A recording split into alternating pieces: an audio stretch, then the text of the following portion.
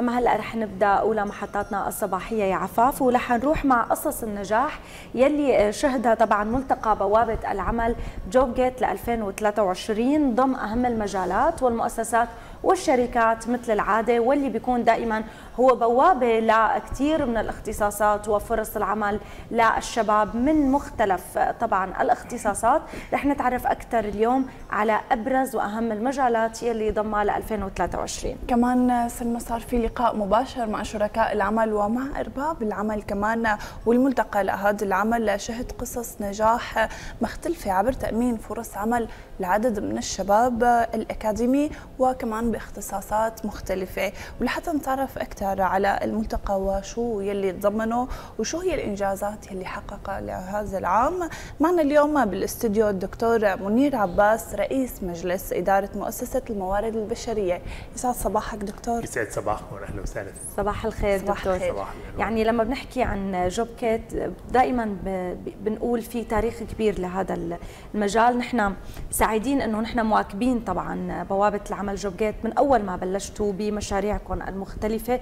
خلينا أقول شو اللي كان مميز هاي السنة؟ تمام. هلا جوب جيت ابتدى السنة الماضية بجوب جيت 2022 وحقق إنجازات كثير حلوة من إيجاد فرص عمل. وتابعنا نحن الميزة تبع جوب جيت بوابة العمل أو الملتقى هذا إنه في متابعة دائما للاثر من السنة الماضية كان في عندنا 2500 سي في تقدموا توظف منهم 680 واحد خلال السنة. هي السنة حققنا كمان أرقام رائعة جدا. طبعا كان في عندنا زوار يزيد عن ال 2600 أو 700 شخص كمان بالإحصائيات. آه، تحقق عندنا 1518 فرصة عمل. شارك معنا 43 شركة ومنظمة محلية ومنظمات أيضا في منهم دولية. آه، كان يتميز الملتقى إنه هو من صنع المتطوعين. اللي خاصين بمؤسسة إدارة الموارد البشرية. هو كان طبعا ملتقى بشراكة استراتيجية مع شركة سيرياتيل وكان في عندنا رعاة ذهبيين رائعين قدموا فرص عمل. بعض الشركات قدمت 158 فرصة عمل. اللي ميز كمان بوابة العمل هالسنة عن السنة الماضية إنه كانت الفرص متنوعة جدا. من عمال آه، لمصانع ومعامل وأيضا موظفين بمطاعم أو بأماكن كلها إدارية إلى مدراء شركات ومهندسين IT ومهندسين بالجرافيك. يعني كثير في تنوع. كان ما في أي شخص فات على الملتقى إلا حس إنه في عنده فرصة عمل ووعود. أيضا كان إلى جانب الملتقى في عندنا دورات تدريبية وورشات عمل مجانية. تقدمت أكثر من 12 ورشة تدريبية مجانية تطوعية من كبرى الشركات من مدراء ومدراء موارد بشرية أيضا. آه، تم لقاء كثير نوعي بين 43 مدير من الشركة وحاولنا إنه نتوصل للمهارات المتطلبة أكثر شيء بسوق سوريا. فأعلنا أكثر من 35 مهارة حندرب عليها بال 2024 لحتى تكون هي عبارة عن بوابة حقيقية لكل داخل لسوق العمل. أيضا تم ورشات إرشاد مهني وبنهاية الملتقى كانت المفاجأة إنه هلأ حاليا الملتقى أيضا بعده افتراضي. وبعدك فيك تقدمي على الوظائف إذا كنتي بغير محافظة لأنه في كثير محافظات فيها الشركات لها فروع فيها آه، ما اتاحت لها الفرصة للأشخاص إنه يجوا على دمشق. فلذلك نحن من هذيك السنة فتحنا المعرض افتراضي لمدة شهر وهلأ إن شاء الله عم نفتحه آه، تم افتتاحه افتراضيا أول امبارح. فهلأ الأشخاص عم يقدموا والشيء اللي كثير حلو فيه هو إنه هو واقع افتراضي. يعني هو نفس المجسم تبع المعرض نقلناه بنفس أشخاصه. فانت بتفوتي على application Job Gate dot SY على الموبايل وبتفوتي بتقدمي على وظيفة وبشكل مرن جدا. بيسألك إنك أنت باحثة عن عمل أم أنت شركة عارضة؟ بتقولي له باحثة عن عمل. بيعطيكي خيارين. بتحبي تعبي طلب التوظيف الخاص بالشركة ولا عندك CV ترفقيها؟ فإذا أنت مجهزة CV فورا بترفقيها وبتوصل فورا للشركات وبتوصل لنا نسخه عنها. آه، نحن طبعا كالعادة حنتابع بهذا الملتقى آه، اللي عملناه ووعدنا كل الشركات إنه هالسي في حتى لو تقدمت على شركة واحدة أو تنتين داخل الملتقى حنعممها على كل الشركات بحيث إنه يكون في عنا فرص أكثر للباحث عن عمل إنه يشوفوه شركات أخرى. كمان في شركات حبت إنه تشترك معنا بالافتراضي ما كانت موجودة بالواقع. عددها لهلأ شي 18 شركة إضافية موجودين منهم بحلب موجودين باللاذقيه موجودين بحمص. فهدول كمان عم لهم الفرصة المعارض الافتراضية. وكالعاده نحن بنتابع طول السنة. كل سنة بنعلن أرقام نتائج السنة اللي قبلها. فنحن أعلنا أرقام النتائج السنة تبع الملتقى بال 2022 ببداية الملتقى 2023 طبعا نحن كان برعاية وزارة الشؤون الاجتماعيه الاجتماعي والعمل مشكورين أيضا لرعايتهم وهن بشهادتهم إنه هذا يعتبر ملتقى حقيقي لفرص العمل لأنه موجود على الأرض كثير وما تجاري ابدا. يعني إحنا دائما عم آه، وقت بتعمل مؤسسة أهلية أي ملتقى بيكون في عنده طابع مسؤولية مجتمعية. فالمسؤوليه المجتمعية بتشعريها بكل جو الملتقى. فانت وقت تيجي عنا على الملتقى بتحسي إنك عايشة lifestyle يعني أسلوب حياة.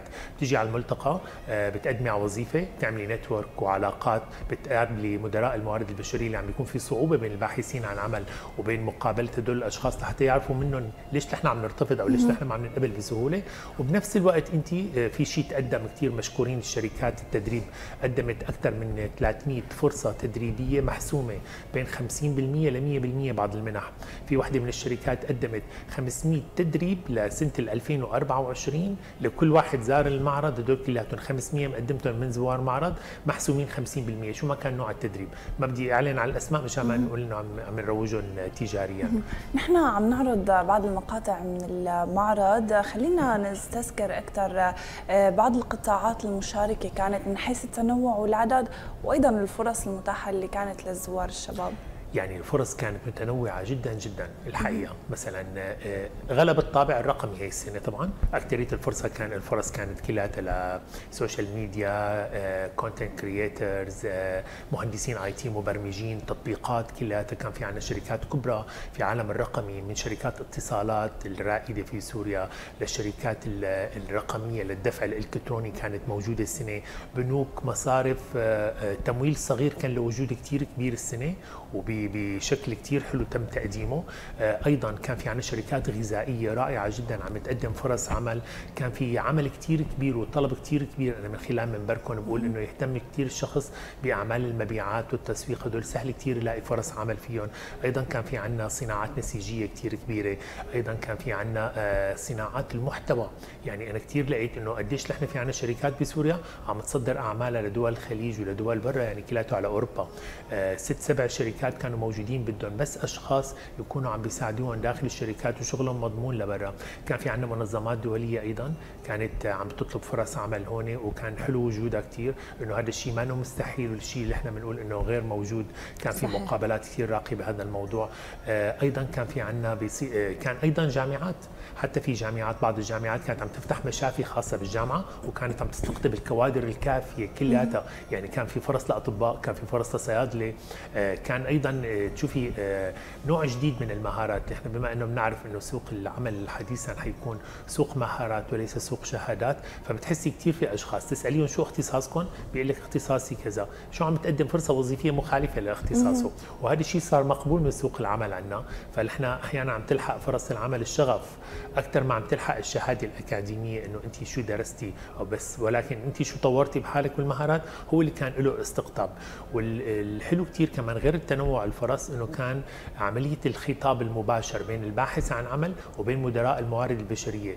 يعني هي السنة يومين بكامل قعدوا مدراء الموارد البشرية بالملتقى مو بس أثبتوا موجودية وراحوا على شغلهم. هذا الشيء آه، أعطى فرصة كثير كبيرة للخطاب المباشر اللي هو كان مفقود هالحلقة دائما. صحيح. وكنا دائما نحن تعرفوا مسؤولية المجتمعية نسهل هذا الخطاب وهذا الحوار ونقدم الباحث عن عمل بصيغ ثانية حتى هي السنة عملنا كثير آه، توعيات مباشرة له نقيم أشخاص ونقول له أنت لي ليش ما لقيت وظيفة؟ لا وبيقول لك هو شو الأشياء اللي كانت عنده تقصير فيها والنواقص يعني دكتور منير أنتم دائما متميزين بكسر مثل ما بيقولوا الصورة النمطية اللي بنشوفها إن كان بمقابلات العمل بطرق التوظيف أو حتى بالمفاهيم والمشاريع اللي بتنعمل. هذا شيء مميز ونحن بنفتخر فيه إنه عندنا مجموعة عم تشتغل على هذا الشيء بسوريا لحتى تتغير بيئة العمل وما نضل نمطيين دائما. أيضا موضوع حساس جدا يمكن قليل جدا لينطرق وبالأخص بمجتمعاتنا العربية اللي هو المفهوم أو السلوك الجنسي بالعمل. كثير بنسمع عن هاي المشاكل يمكن برا بالخارج بيواجهوها بكثير أريحية وما في مشكلة بهذا الموضوع. عنا بتبقى محبوسة. دائما ابتداء من التفريق بين الذكر والأنثى بالوظائف وصولا إلى إذا صبية تعرضت لمشكلة بالعمل ممكن تسكت ممكن ما تعمل شيء لحتى تستمر وكذلك الرجل يعني. خلينا نحكي عن هذا المفهوم وكيف حاولتوا تشتغلوا عليه حاليا. طبعا نحن الحمد لله بلشنا مشروع كثير نوعي بالتعاون بين مؤسسة إدارة الموارد البشرية ومنظمة الصحة العالمية WHO من بداية شهر تسعة بلشنا مشروع يسمى معروف عالميا ببسيا بسيا هي عبارة عن Preventing Sexual Exploitation and Abuse يعني منع سوء السلوك الجنسي داخل موقع العمل. فهذا الشيء مفهوم شوي يعني حساس بمصطلحاته داخل مجتمعنا الشرقي وسوريا.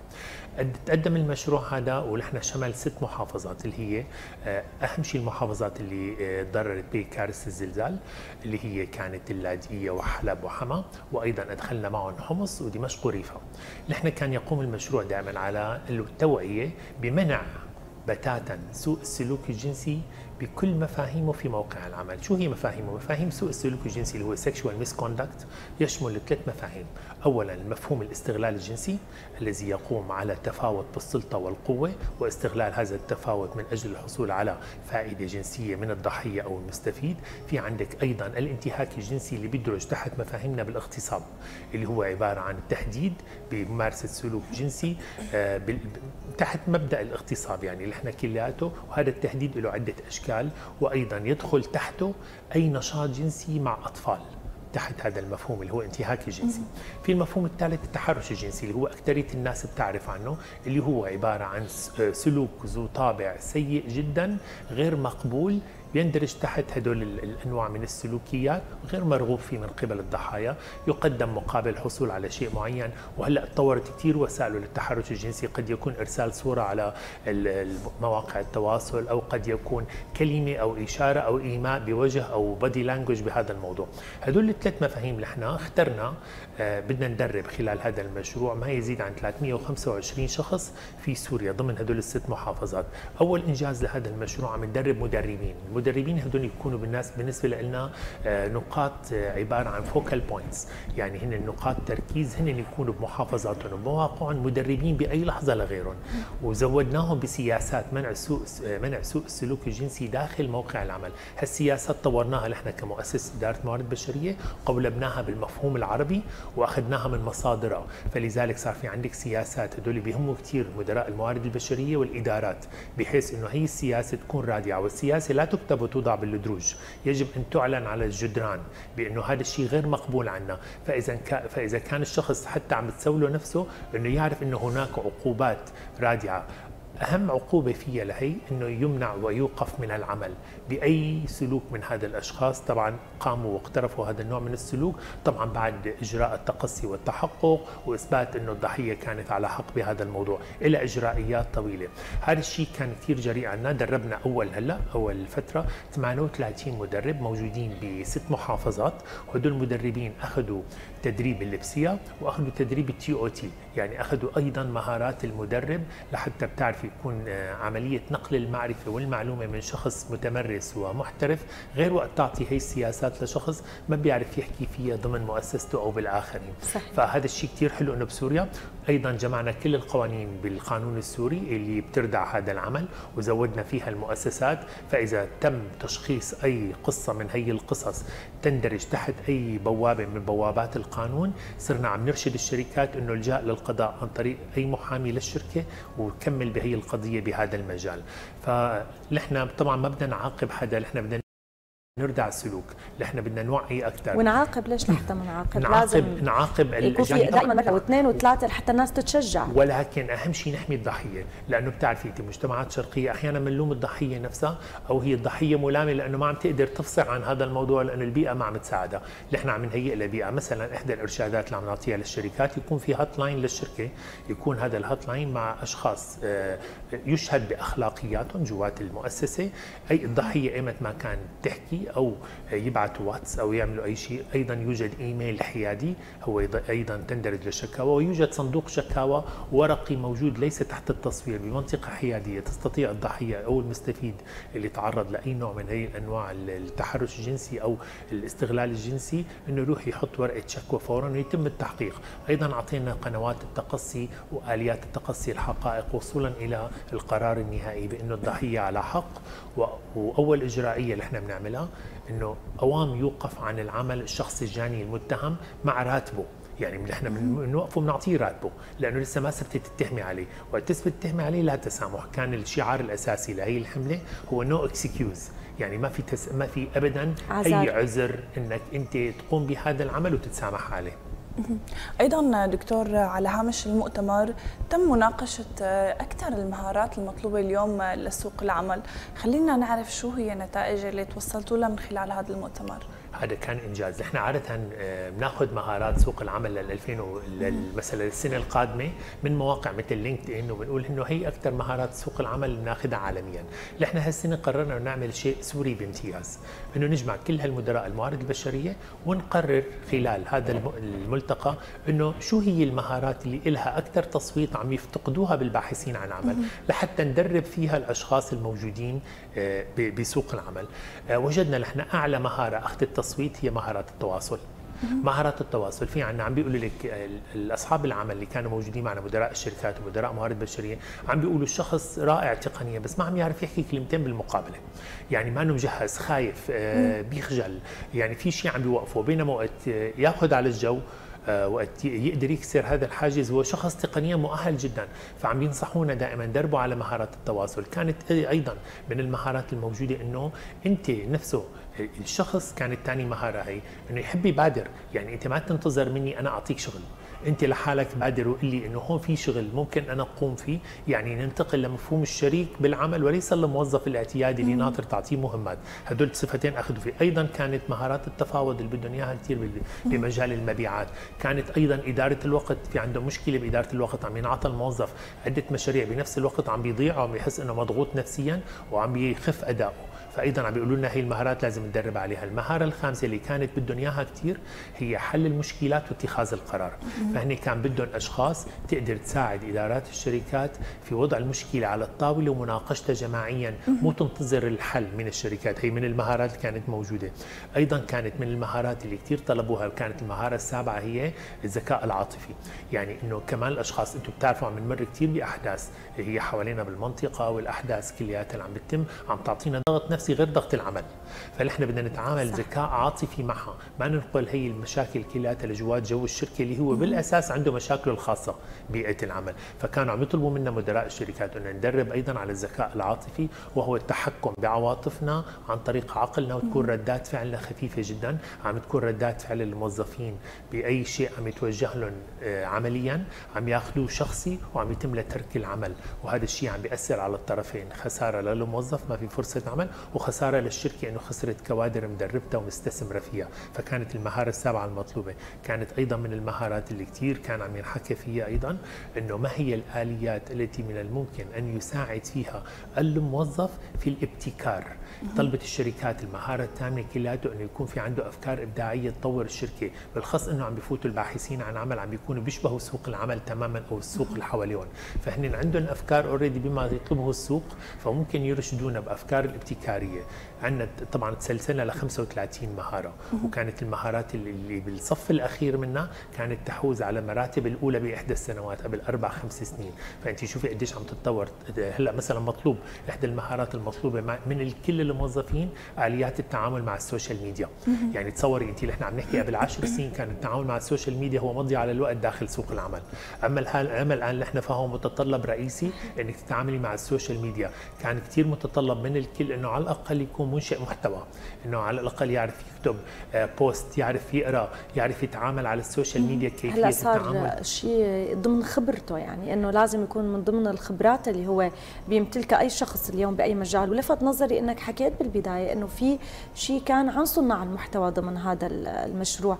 اليوم هي بيئة عمل جديدة عم تخلق بسوريا ما كانت موجودة سابقا بكل المجالات إن كان بالمجال التسويقي للشركات أو إن كان حتى بالمجال اللي هو فتح أبواب عمل. اليوم عم نشوف محاميين عم يستخدموا صناع المحتوى ليروجوا لنفسهم. عم نشوف أطباء عم يعملوا صفحات طبية ليروجوا لنفسهم.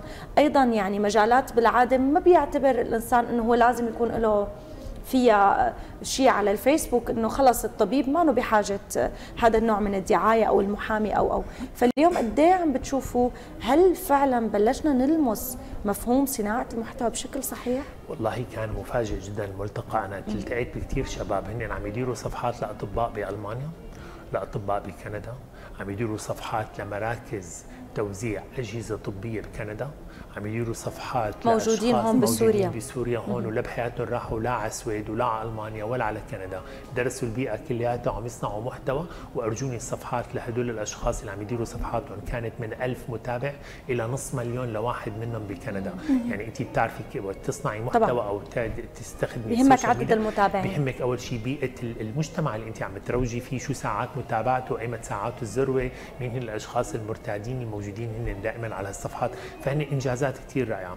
كانت واحدة أيضا من القصص اللي إحنا بدنا نحكي عليها إنه مو بس ال social media. أنا بتذكر قبل ست سبع سنين كنا إذا اللي بواحد عم يطلع على الواتس عنده بسياسات موارد بشرية بياخذ تنبيه وإنذار كتابي. هلأ نحن عم نقول له روح على الواتس وتتبع شو أنا حابعت لك حابعت لك شيء على الواتس. عم بتطلع إنه بس خلال ست سنين كنا نفس الأداة. كانت محظورة صارت الأداة هي المرغوبة وأنا ما بوظف إذا ما كان عندك تقنيات عليها.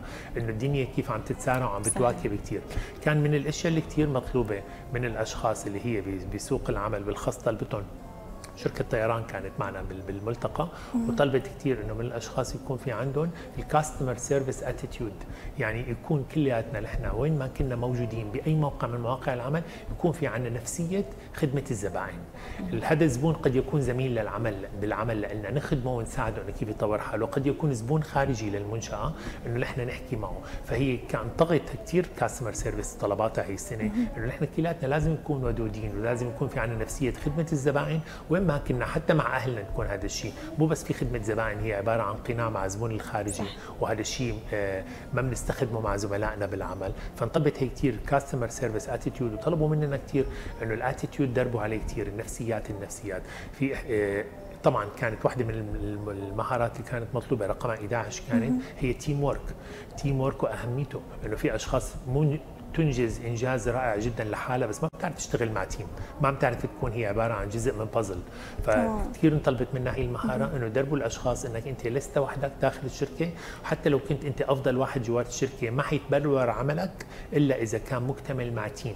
فجرأتك بتقديم أفكار وتميزك لازم ينعكس على ال team وتحسنه معك. ولا تتميز عن ال team بحيث إنك تضلك عم تفكر فرديا. هون كمان عم تحكوا عن أهمية المشاركة وقد ما كان الواحد يمكن عنده إبداع أو بحس إنه حال لحاله مركز أكثر أو بيطلع معه أكثر فالمشاركة ممكن كمان تضيف نوع من أنواع الإبداع. بآخر دقيقة دكتور أهم نصيحتين لكل الشباب يلي عم يواجهوا اليوم مشاكل بأعمالهم. أنا بنصحهم إنه روح وشبك وكبر رأس مالك الاجتماعي. مثلا مثل هي الملتقيات لا تروح عليك روح وتعرف على أشخاص. دائما network network network ولازم دائما ما نفقد الأمل بنفسنا نقدم نفسنا بصيغ مهارات اللي بده إياها سوق العمل. دائما تجدد ودائما تابع ودائما واكب واشتغل على حالك. وكبر شبكة رأس المال الاجتماعي تبعك بالتعرف على أشخاص آخرين. فكل شخص وراه مليون فرصة عمل ومليون فرصة لك لمستقبلك. شكرا كثير لك دكتور وعلى كل النصائح القيمة اللي قدمتها اليوم. إن شاء الله هيك يا رب تبطل كل هي المشكلات. ومثل ما شفت وسمعت إنه في حلول جدا سهلة وبدون حتى شهادات مو شرط بنفس الاختصاص. هي مجرد مهارات. شكرا لك دكتور. شكرا لك. شكرا لك دكتور. وبنتمنى دائما كل المشاريع اللي عم تقوموا فيها اللي هي فعلا عم تقدم فرص عمل وعم بتنظم بيئة العمل بسوريا. شكرا لك. يعطيكم العافية.